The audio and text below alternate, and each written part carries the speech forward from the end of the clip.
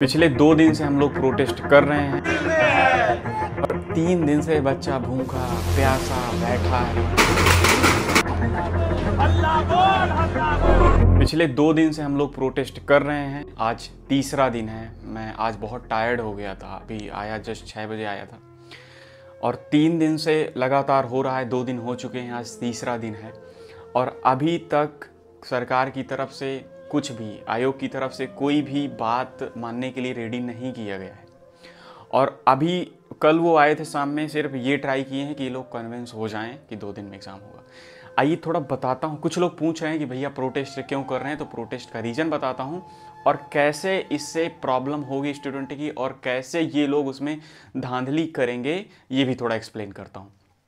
देखो बेसिक अभी तक जो यूपी पीएससी के पेपर होते थे, वो होते थे एक शिफ्ट में। एक शिफ्ट में मतलब एक दिन में एक टाइम पे पहले वो लोग जीएस फ़र्स्ट पेपर ले लेते थे, दूसरे टाइम वो लोग सी सेट ले लेते थे, जैसे यूपीएससी करती है। लेकिन अब ये लोग इसको बोल दिए हैं कि हम दो शिफ्ट में पेपर लेंगे मतलब दो दिन में, जिससे कि पेपर लीक होने के चांसेस बहुत ज़्यादा बढ़ जाते हैं। तो पहला स्टूडेंट का डिमांड ये है कि अगर आप एक ही दिन में ले लोगे तो इतना कोई पेपर लीक होने वाला चांस बनेगा ही नहीं, क्योंकि एक रीज़न और इसमें ये भी बनता है सपोज़ दैट पहले दिन एक पेपर हुआ, दूसरे दिन एक पेपर हुआ।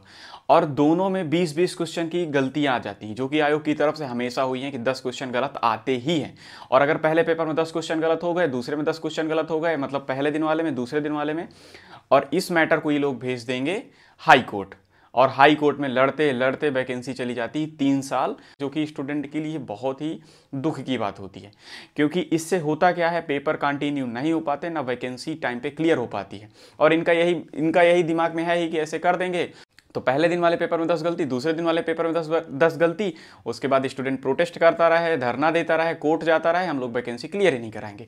और अगर एक ही दिन में रहेगी तो गलतियाँ कम रहेगी, जिससे हाई कोर्ट में जाने के चांसेस बहुत कम हो जाते हैं, जिससे कि वैकेंसी जल्दी क्लियर हो जाती है। पहला रीज़न तो यही हो गया कि दो दिन की जगह पे पेपर जब अभी तक एक दिन में हुआ है तो अब दो दिन क्यों करवा रहे हो? क्या तुमको अपने लोगों को भर्ती कराने में प्रॉब्लम आ रही है? इसलिए दो दिन करा के अपने लोग को भर्ती करा दो। जब बात आती है कि हम बोल रहे हैं कि दो शिफ्ट की जगह पे एक शिफ्ट में एग्ज़ाम लिया जाए तो आयोग क्या बोल रहा है कि हमारे पास प्रॉपर सेंटर ही नहीं है।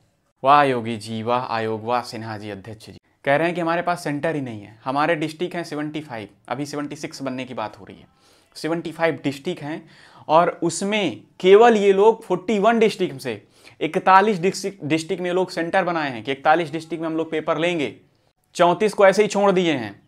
भाई चौंतीस डिस्ट्रिक्ट में सेंटर बना दो ना। तो ऑलरेडी सारे बच्चों का प्रॉब्लम सोल्व हो जाए, एक दिन में पेपर हो जाए, लेकिन नहीं। आप लोगों तो आप लोगों को एक्सक्यूज चाहिए कि हम लोग को अपनी भर्ती करवानी रहेगी। तो हम लोग बच्चों को यही लॉलीपॉप पकड़ा देते हैं। हम्म। और अभी तक बराबर पूरा चला रहा है। यूपीएससी इतना बड़ा एग्ज़ाम है। इतने बड़े, इतने लोग अपीयर होते हैं, वो पूरा करा लेता है, एक दिन में। कोई दिक्कत नहीं होती उसको। लेकिन यूपीपीएससी को अभी हाल फ़िलहाल में दिक्कत होने लगी अभी तक इसको भी कोई दिक्कत नहीं होती थी। लेकिन अब पेपर लीक का मैटर दे दिए। क्योंकि स्टूडेंट हल्ला बोल कर देता है कि पेपर लीक हुआ। तो अब सोच रहे हैं कि बच्चा पेपर लीक का दे देता है, इससे अच्छा अपने लोग की भर्ती अंदर करो पेपर लीक का ऑप्शन है ना रखो, थोड़ा रेट बढ़ा दो। और इस वजह से सोच रहे हैं कि नॉर्मलाइजेशन का ना झूठा नाम दे करके अपने बच्चों के अंदर से ज्वाइनिंग करवा लिया करेंगे। और जो कैपेबल बच्चा रहेगा, जिसका ज़्यादा नंबर आएगा, उसे बोल देंगे, भाई, तेरे नंबर नॉर्मलाइजेशन के थ्रू कट गए। वाह, योगी जी, वाह। सलाम है आपको। दूसरा रीज़न ये है प्रोटेस्ट करने का कि इन्होंने बोला है कि अब हम नॉर्मलाइजेशन करेंगे। यार, शर्म की बात है। नॉर्मलाइजेशन वन डे एग्ज़ाम में होता है, जिनमें मैथ आ रही है रीजनिंग आ रही है। वो क्योंकि मैथ में कभी कभी बहुत टफ पेपर बना देते हैं और कभी कभी बहुत ईजी पेपर बना देते हैं। तो नॉर्मलाइजेशन से वो लोग करते क्या है कि जिनका पेपर टफ रहता है, उनके नंबर थोड़े से बढ़ा देते हैं और जिनका पेपर थोड़ा सा ईजी रहता है, जिस शिफ्ट का, उस शिफ्ट के बच्चों का पेपर का मार्क्स जो रहते हैं, वो उनको थोड़ा कम कर देते हैं, जिनका पेपर ईजी रहता है। ये होता है नॉर्मलाइजेशन लेकिन ये लोग यूपीपीएससी में नॉर्मलाइजेशन ला रहे हैं, इसका मतलब ये लोग ज़रूर धांधली करेंगे। जैसे तुम्हें मैं एक बताता हूँ। अभी जब हमारा नीट का एग्ज़ाम हुआ था, जिसमें 67 बच्चों की वन रैंक आई थी, और जब पूछा गया था यूजीसी से तो यूजीसी ने बताया था कि अरे नॉर्मलाइजेशन में हुआ है। लेकिन जब उन जब हम लोगों ने प्रोटेस्ट किया, लोगों ने हमने वीडियो बना के डाली, उसके बाद प्रोटेस्ट हुआ, उसके बाद री एग्ज़ाम हुआ तो 67 बच्चों जिनकी वन रैंक आई थी, उसमें से केवल 10 से 15 बच्चे भी नहीं वन रैंक ला पाए। मतलब नॉर्मलाइजेशन का नाम देके वो लोग अपने बच्चों की ज्वाइनिंग करा देते हैं। ऐसा ही अगर आयोग में नॉर्मलाइजेशन हो जाता है तो लोग वहाँ के जो हैं, वो 50 लाख 40 लाख दे करके अपने बच्चों का, अपने आसपास के लोगों का जो उनको पैसा देंगे, उनको वो नॉर्मलाइजेशन का झूठा नाम दे करके आयोग में भर्ती करा देंगे, जिससे कि एक उस बच्चे का हक जाएगा जो एक्चुअल में मेहनत करता है। क्योंकि नॉर्मलाइजेशन में हम ये तो तय कर सकते हैं कि मैथ का पेपर टफ था इस शिफ्ट वाला और इस शिफ्ट वाला इजी था। लेकिन आप लोग ये बताओ, हम मैथ के पेपर में तो बता सकते हैं कि इस शिफ्ट का पेपर टफ था, क्योंकि इस शिफ्ट में ज़्यादा क्वेश्चन इस चैप्टर से आ गए थे। जैसे कि सपोज़ दैट टाइम से आ गए टाइम डिस्टेंस से आ गए, या किसी और चैप्टर से आ गए। तो हम मैथ में तो बता सकते हैं कि इस शिफ्ट का पेपर टफ था, क्योंकि इसमें जो क्वेश्चन थे, वो उस सिलेबस से आए थे, जो कि बहुत टफ होता है। और एक टाइम पे बहुत इजी पेपर बना दिया मैथ के, जैसे दस क्वेश्चन बहुत इजी दे दिए। तो हम इसमें तो जज कर देंगे और हम इजीली जिस बच्चों का पेपर बहुत टफ था, उनको नंबर थोड़ा ज़्यादा देंगे देंगे और जिनका पेपर बहुत ईजी था, उनको थोड़ा नंबर कम कर देंगे, क्योंकि उन्होंने बहुत अच्छे से क्वेश्चन सॉल्व कर लिए होंगे। तो ये तो नॉर्मलाइजेशन ठीक बैठता है मैथ में रीजनिंग में। लेकिन आप लोग ये बताओ हिस्ट्री का बच्चा ये पढ़ रहा है कि बैटल ऑफ़ प्लासी और battle of Buxar and battle of Panipat इनमें वो क्या डिफाइन करेगा भाई? पानीपत की लड़ाई 1526 में होती है 1526 में होती है बैटल ऑफ़ प्लासी 1757 में होती है बैटल ऑफ़ बक्सा 1764 में होता है। इसमें भाई तुम कहाँ से जज कर दोगे कि ये वाली लड़ाई का डेटिंग सत्रह याद करने में प्रॉब्लम हो रही थी स्टूडेंट को? क्यों बेवकूफ़ बना रहे हो? भाई, हम मैथ में जज कर सकते हैं बच्चों का कि पेपर टफ है ईजी है। लेकिन अगर हिस्ट्री है यार, अगर मैं बोल दूँ कि मुझसे किसी ने बोल दिया कि भैया आर्टिकल 72 में क्या है? मैं बोल दूँ कि प्रेसिडेंट को जो वो करता है तो प्रेसिडेंट को हम रिलीफ देते हैं या उसको उसको दंड नहीं दे सकते और किसी बच्चे से पूछ लिया जाए कि हंड्रेड में आर्टिकल में क्या है, वो बता रहा है कि लोकसभा अध्यक्ष जब वोटिंग करता है। भाई, आर्टिकल याद करने में क्या प्रॉब्लम है? वही 78 में शब्द याद करने, वही हंड्रेड में। इसमें तो नॉर्मलाइजेशन, इसमें कोई फॉर्मूला नहीं लग रहा, कोई कैलकुलेशन नहीं लग रहा। इसमें सिर्फ़ याद करने की स्किल लग रही है। तो आप कैसे कह दिए कि इसमें नॉर्मलाइजेशन होगा? और नॉर्मलाइजेशन का नाम लेकर के ये लोग अपने जो इनको चालीस लाख पचास रुपए पहुंचाएँगे आयोग में, उनको ये भर्ती करा देंगे और लोगों से पता है, जो जिसका नंबर बहुत ज़्यादा आ रहा होगा, उसको कहेंगे तेरा तेरा तो नॉर्मलाइजेशन हुआ, तेरा नंबर कम हो गया। मतलब शर्म की बात आ रही है। मैथ में हम लोग देख सकते हैं कि पेपर टफ था इजी था। नॉर्मलाइजेशन ठीक है, चलता है। रीजनिंग के पेपर में चलता है। बट यार अगर हिस्ट्री पढ़ रहा है जियोग्राफी पढ़ रहा है उससे एक से लैटिट्यूड पूछा जा रहा है कि लैटिट्यूड कितनी है हमारे अर्थ पे? और एक से पूछा रहा है लॉन्गिट्यूड कितनी? तो भाई, इसमें क्या डिफरेंस बन रहा है? कोई फॉर्मूला लगा के नहीं निकालना है। बस एक ने याद कर रखा होगा कि 181 360 दैट्स इट और इस चीज़ को नाम दे रहा है आयोग कि हम नॉर्मलाइजेशन करेंगे और नॉर्मलाइजेशन के नाम पे वो अपने बच्चों की बैक डोर से एंट्री करवाएगा। जब अभी तक नो नॉर्मलाइजेशन था यूपीपीएससी में, अभी तक एक दिन में एग्ज़ाम होता था तो अब क्यों? दूसरा रीज़न ये है। और आरओ का पेपर जो जो स्टूडेंट दे रहे हैं, वो लोग भी प्रोटेस्ट इसीलिए कर रहे हैं क्योंकि उसमें नॉर्म पहली बात तो पेपर लीक करा दिया तुम लोगों ने पहले दिन। ये तुम लोग की चाल थी कि पेपर लीक करा दो। और उसके बाद आप बोल रहे हो कि नॉर्मलाइजेशन सोचो, अगर नॉर्मलाइजेशन होता है, अगर नॉर्मलाइजेशन होता है तो इससे स्टूडेंट को क्या लॉस होगा? मैं बताता हूँ। देखो, अभी तक जो पेपर लीक हो जाता था, थोड़ा बहुत खबर आ जाती थी, अब पेपर लीक की खबर नहीं आएगी। रीज़न आप लोग खुश मत हो जाओ। रीज़न ये रहेगा, क्योंकि जो पेपर लीक होने की खबर आ जाती थी, अब वो लोग डायरेक्ट सेटिंग करेंगे अंदर से, और पेपर लीक कराएँगे ही नहीं, वो सीधा मार्कशीट से खिलवाड़ कराएँगे। तो पेपर उनके पास ना आएगा, ना लीक होगा, वो अंदर से ज्वाइनिंग ले लेंगे, बात खत्म। और यही आयोग चाहता है कि पेपर लीक हो ही ना, हम अपने बच्चों की ज्वाइनिंग भी कराते रहे पचास पचास लाख में पेपर लीक होने का नाम भी ना आए।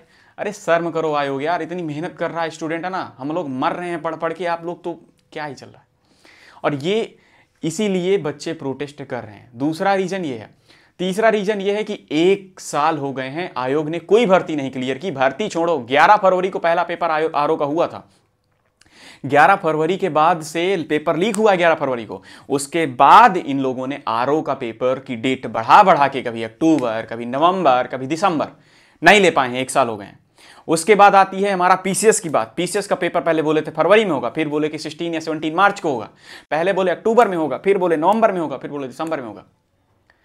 भाई, मज़ाक चल रहा है, एक साल हो गए हैं। बच्चा जिसका एज जिसका एज है तीस साल, वो बेचारा एक साल में ओवर एज हो जाएगा। उसके बाद उसको फार्म नहीं भरने दोगे। ये दुर्भाग्य की बात है अपने इंडिया का। और हम पूछ रहे हैं, हम योगी जी नारा दे रहे हैं, बटेंगे तो कटेंगे। वाह योगी जी। ठीक है, हम खुश हैं आपकी पॉलिसी हम आपको अगला प्रधानमंत्री बनाना चाहते हैं। लेकिन, यार स्टूडेंट भविष्य है, बेचारा मर रहा है, तीन दिन से हम लोग गए मैं कल, मेरा पैर इतना दर्द कर रहा है ना आज। मैं सही से खड़ा नहीं हो पा रहा। कल सुबह साढ़े आठ बजे गया था, बिना कुछ खाए। एक केला खाया था, एक सेब खाते हुए निकल गया था। और वहाँ से अभी आठ, लगभग साढ़े छह बजे आया हूँ अभी। और तब ये वीडियो शूट कर रहा हूँ।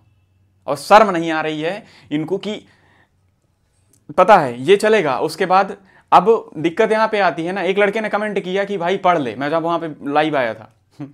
मेरे भाई तेरे जैसे को ना मैं वैसे निगेटिव लोगों को बहुत अच्छे से ट्रीट करता हूँ लेकिन जो ऐसा कमेंट करता है ना भाई कि पढ़ ले प्रोटेस्ट मत कर ते, तेरे जैसे को तो चप्पल से मारने का मन करता है भाई सच बता रहा तुम जैसे लोगों की वजह से सब बर्बाद है। आज हम लोग प्रोटेस्ट नहीं करेंगे आज स्टूडेंट प्रोटेस्ट नहीं करेगा ना। कल जब कोई फर्जी आके बन के बैठ जाएगा और जब वो तुम्हारा काम पैसे लेके करेगा तब तुम लोग बोलोगे कि सिस्टम में भ्रष्टाचार फैल गया है। और आज जब हम लोग हक की लड़ाई के लिए प्रोटेस्ट कर रहे हैं कि बच्चों को न्याय मिले एलिजिबल बच्चे जाएँ जो कैपेबल हैं, जिनके अंदर कैपेसिटी है, वो जाएँ और उसके लिए हम प्रोटेस्ट कर रहे हैं। तो तुम जैसे लोग आके कमेंट कर देते, भाई, पढ़ ले, भाई, क्या मैं बोलूँ यार? तुम लोग के लिए करो तो अच्छा नहीं, बुरा है और ना करो तो और बुरा। ये पूरा मैटर है कि नॉर्मलाइजेशन अगर हुआ तो ये लोग अंदर से अपने बच्चों की भर्ती करवा देंगे। और पेपर लीक का नाम ही नहीं आएगा, और धांधली बहुत तगड़े से चलेंगी। दूसरा रीजन ये है कि एक साल आयोग को हो चुके हैं और कोई पेपर नहीं लिया। योगी जी, आपको मैं अगला प्रधानमंत्री के रूप में देखना चाहता हूँ। हम सब देखना चाहते हैं, और आप क्या कर रहे हैं? और योगी जी कल आए भी तो चले गए। मतलब उधर गए भी नहीं, वो आए थे अपना रोड वोड देखने कि कुंभ मंदिर का तैयारी सही चल रहा है कि नहीं? ये चल रहा है। और तीन दिन से बच्चा भूखा, प्यासा बैठा है वहीं पे। लड़कियाँ हैं, लड़के हैं। चल गया रहा यार। ऐसे अखंड भारत छोड़ो कि जैसा भारत आज़ादी से पहले था, वैसा भी नहीं बनने वाला, उससे भी बेकार हो जाएगा। क्योंकि ब्रिटिश लोग थे, वो कम से कम अपनी शासन व्यवस्था, अपना एडमिनिस्ट्रेशन तो अच्छे से चलाते थे। उन लोगों तो सेवेंटी सेवेंटी थ्री में एक्ट ला दिए थे कि कोई घूसखोरी नहीं चली। आप लोग क्या कर रहे हो? आप लोग तो इसलिए एक्ट ला रहे हो कि हम लोग घूसखोरी के थ्रू अपने लोगों को ज्वाइन करा सकें। और इसलिए बच्चे प्रोटेस्ट कर रहे हैं। तीन दिन से बराबर हो चुका है दो दिन हो गया तीसरा आज हुआ है। कल मैं गया था सोचा था कि बच्चों को आ, कुछ खिलाऊँगा सारे जो भी है पानी समोसे। कल तो नहीं कर पाया आज जाऊँगा फिर से अभी आज तीसरा दिन है। तो ये है पूरा मैटर इंडिया सबसे शर्म की बात यह है ना कि कोई न्यूज़ चैनल वाला, जो बड़ा न्यूज़ चैनल वाला है ना, वो कवर नहीं कर रहा चीज़ों को। हमारे जैसे लोग ही इसको कवर कर रहे हैं, कोई भी बड़ा न्यूज़ चैनल नहीं आ रहा है, ना बड़ी मीडिया आ रही है, ना गवर्नमेंट की तरफ़ से कोई आ रहा है, ना कोई नेता दिखाई दे रहा है, जो दावे करते हैं विकास के। सब हम लोग नॉर्मल से छोटे छोटे यूट्यूबर हैं, जो वीडियो बनाते हैं, वही कर रहे हैं। मतलब क्या चल रहा है? इतना बच्चा, दस हज़ार से ऊपर बच्चा भीड़ में बैठा है। पता नहीं कितने, यूपी सबसे बड़ा स्टेट है हमारा। बीस पच्चीस करोड़ पॉपुलेशन होने वाला है। और इसमें इतना बड़ा मुद्दा है कि अगर यूपी यूपी का ही प्रशासन व्यवस्था ख़राब हो गया तो और क्या ही चलेगा? और यहीं कहीं कोई नहीं सुन रहा है। कोई बड़ा न्यूज़ चैनल नहीं आया है कि एक बार आके वो लोग सुने बातों को, लोगों की बातों को आगे तक पहुँचाएँ। तो ये है पूरा मैटर और आज जाते हैं, देखते हैं क्या होता है। तो आशा करता हूँ वीडियो आपको ठीक जैसा भी हो। वीडियो शेयर करना, स्टोरी में लगाना, ज़्यादा वीडियो जाता नहीं रीच इन में वीडियो में। चलिए मिलते हैं अगले वीडियो में तो तक ले जय हिंद, जय भारत। लगे रहेंगे।